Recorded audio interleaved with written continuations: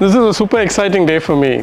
Not just because this is the coolest bike that I've ever had, that I've ever known, but because this is a bike that we've been part of the whole journey from day minus one, if I could say that.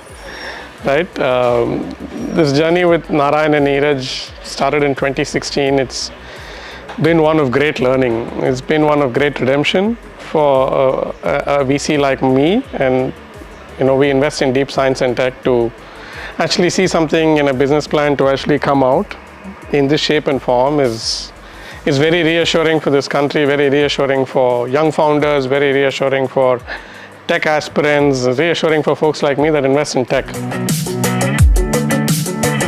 We've seen the first prototypes that came out in 2017, 2018. And I was like, wow, can, can someone even make something better than this, right? And seen the bike, the launch, it looks great, the batteries look great, the bike, the vehicle looks great. And then comes 2020, 2021.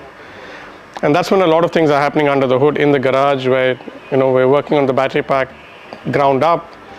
And then we come out of the shed and then we say, we test, we show we've got a range of 307, that's sort of unheard of.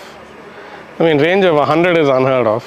Now, three times that just means that there isn't a catching up to this. And I think all of this goes back to just the brilliant minds of Narayan and Niraj and the team that's that's highly motivated to come and build stuff like this, right?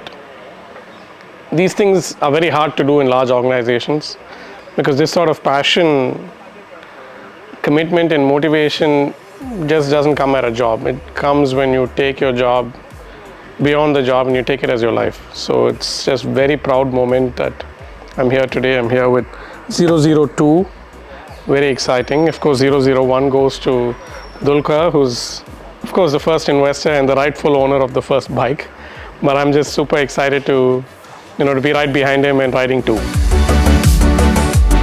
I must say there was another interesting um, incident that happened. I think it was about nine months ago. I went to meet one founder here in Chennai, and I walk out. He's walking out with me, and he's like, "Oh, where's your BMW?" And I, I of course drive a humble i10. And then I just looked at him and I responded that, "Hey, you know, we don't buy vehicles, we make vehicles." So I said, "We make bikes, we make planes, we make rockets," and very excited that today I'm going to get to ride one.